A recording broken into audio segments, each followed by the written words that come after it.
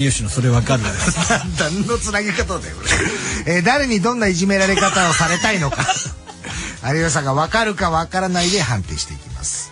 ほっぺたにキスする？いやでもまあ外国の人だからね。いやその挨拶のフランス人みたいなあれじゃないよ、うん、もう本当に好きですっていうありがとうっていう。もうナイトもうナイトにご苦労様っていうありがとねって、もうさ、童貞の発言だよね、こうね。なんか、するとかさ。ラジオネームラッパーザキバチョウ。ラジー賞を受賞してしまったキャメロン・ディアスがすごく落ち込んでいたので励ましてやろうと、チンコをシコシコしてキャメロン・ディアスの髪の毛に射精してあげて、メリーに首ったけの時みたいに笑顔になってくれると思ったら、シッ You are fucking Japanese! と怒られて両耳を思いっきり引っ張られ、もぎ取られたい。俺の淡いき思い出のいい思い出の時こういうこと言うんじゃないよ出禁にするぞお前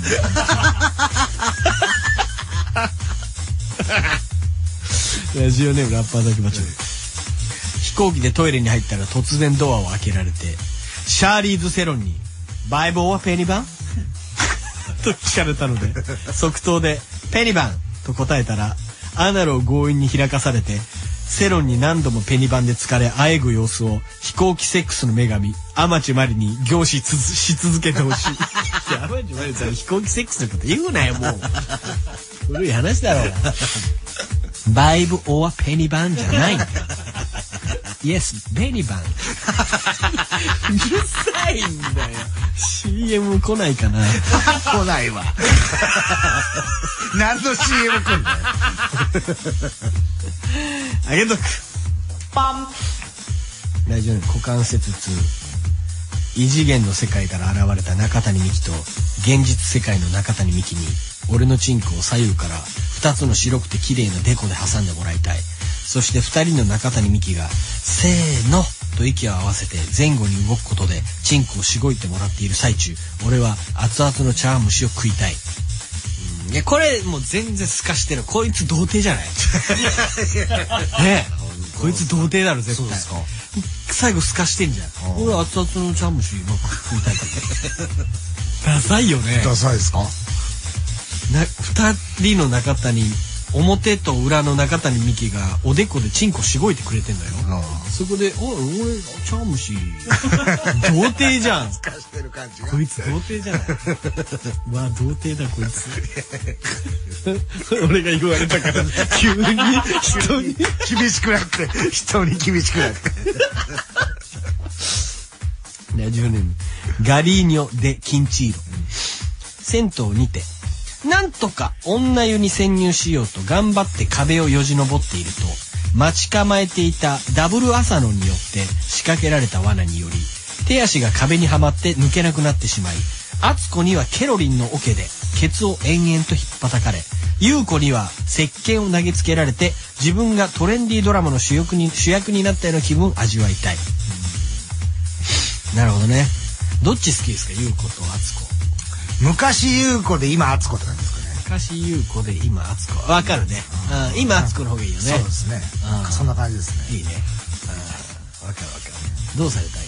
どうされたい、うん、だからあのあのテンションの方がいいですね敦子は。あのあの危ないデカの方ああちょっとジョークマジックそうそうそっちの方がいいです、明るい。明るい感じの、はい。にお前童貞じゃね？お前童貞なんじゃねひょっとして。子供いるわ。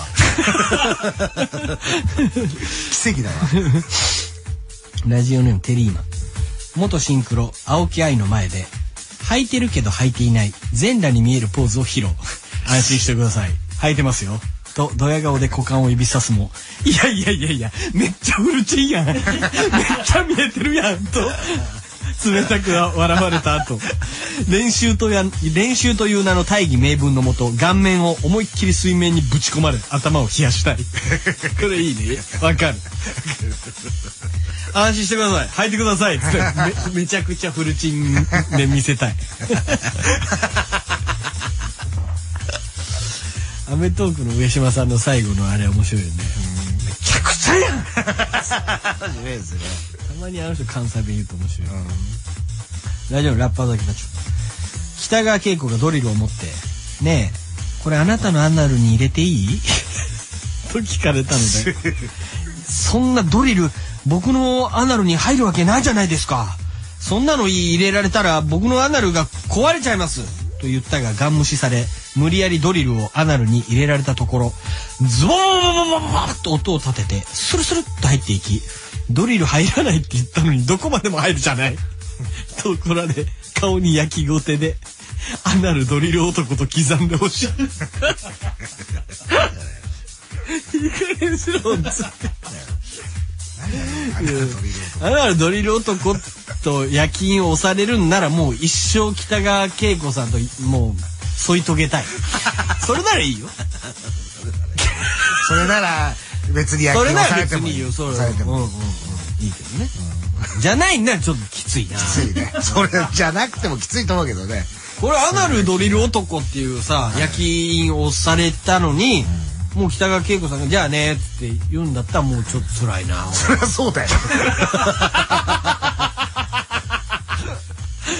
ラジオネームスピードスター筧美和子ちゃんがピッチャーを務める草野球チームの試合に僕も全裸で参加しマウンド上の美和子ちゃんの横でただひたすら仁王立ちし続ける。そして美和子ちゃんに10球に1回程度の割合で老人バッグの代わりに僕の切ったもを軽くポンポンとしてもらったり自分の思うようなピッチングができずイライラしている美和子ちゃんに 僕のチンポジを直させてあげるという仕事をしたい。わかる。ポンポンってされるいいよね。白い粉ね。ポンポンってやるね。ポンポンってされたいね、金玉をね。うん。家計迷惑じゃなくてもいいけどね。誰でもいいけど。う んラジオネームラッパー。ラッパーの今ちゃん多いな。出てくるじゃないですか。湯水のように出てくるじゃないですか。お前も童貞かな？ラジオネームラッパーザキマチョ田舎の子供たちに、俺の肛門はどんなもの、俺の肛門はどんなものでも入れることができるんだぜ。と自問していたら、それを聞いた能年玲奈が、おいそれ本当か？なだおめえの肛門見せてみろと言われたので肛門を見せたら、ひー肛門に超巨大アナコンダが入ってると腰を抜いて驚かれたい。何言ってんの？全然わかんないわ。もう、ペンが進みすぎてんだだからいつも言うけど。俺一回冷静になれ本当に。止まんない。カチャカチャカチャそうそう。思いがもう思いが。肛門に超巨大アナコンダが入ってるじゃねえね意味わかんねえだろ。送信じゃねえんだよ。一回送信の前に見直せ。本当に。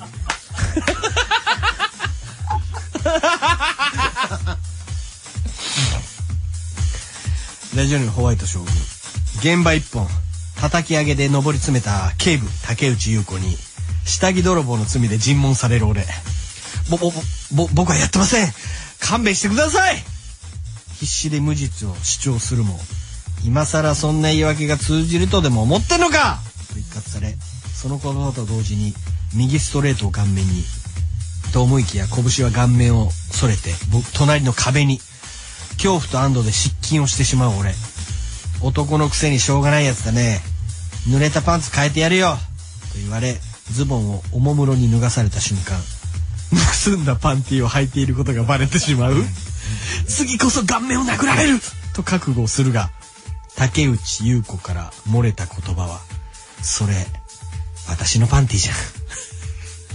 そう言われ、頬を赤く染めたい。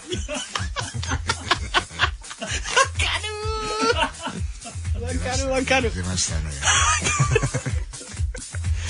それ私のパンティーじゃん。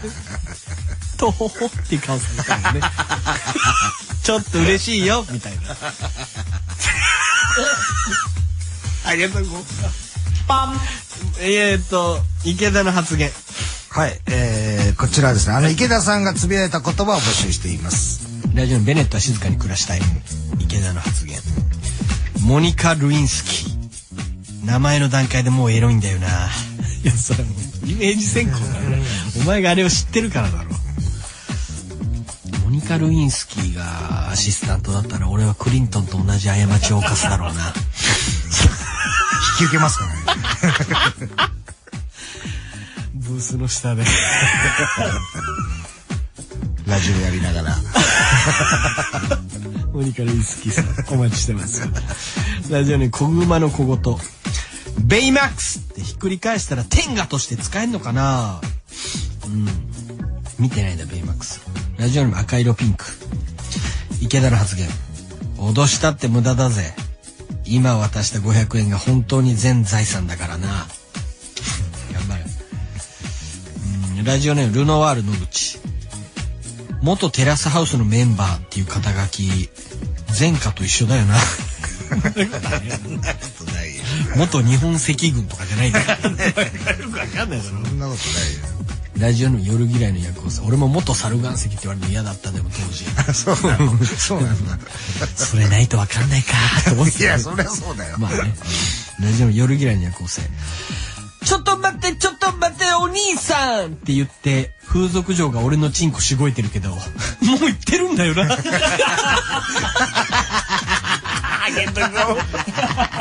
以上です。